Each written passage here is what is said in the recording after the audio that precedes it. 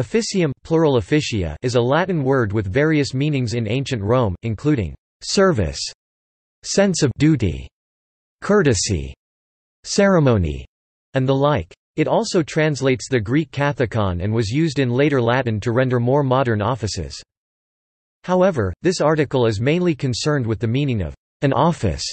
The modern word office derives from it or bureau, in the sense of a dignitary's staff of administrative and other collaborators, each of whom was called an officialis hence the modern official.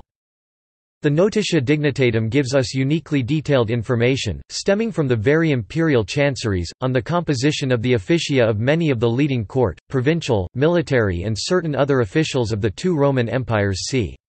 AD 400. While the details vary somewhat according to rank, from west Rome to east Byzantium and or in particular cases, in general the leading staff would be about as follows the English descriptions and other modern equivalents are approximate. Princeps officii was the chief of staff, permanent secretary or chef de cabinet Cornicularius was a military title, for an administrative deputy of various generals etc. Adiutor literally, helper, seems to have been the chief general assistant, or adjutant.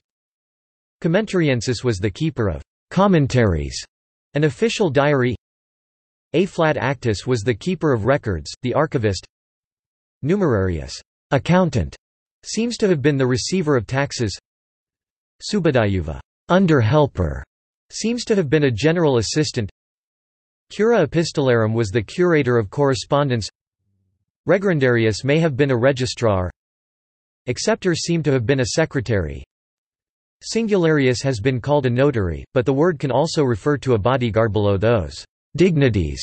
There were often a few hundred minor officials, often slaves or freedmen, doing the clerical drudgery, not deemed worthy of any more detailed mention. They are only referred to collectively, by various terms in the plural, such as cohortalini apparently the diminutive of cohortalis, the very term suggesting significant number, see cohors amicorum. See also. Magister officiorum. Sources and references. Pauly-Wissowa German language encyclopedia on anything relating to classical antiquity. Notitia dignitatum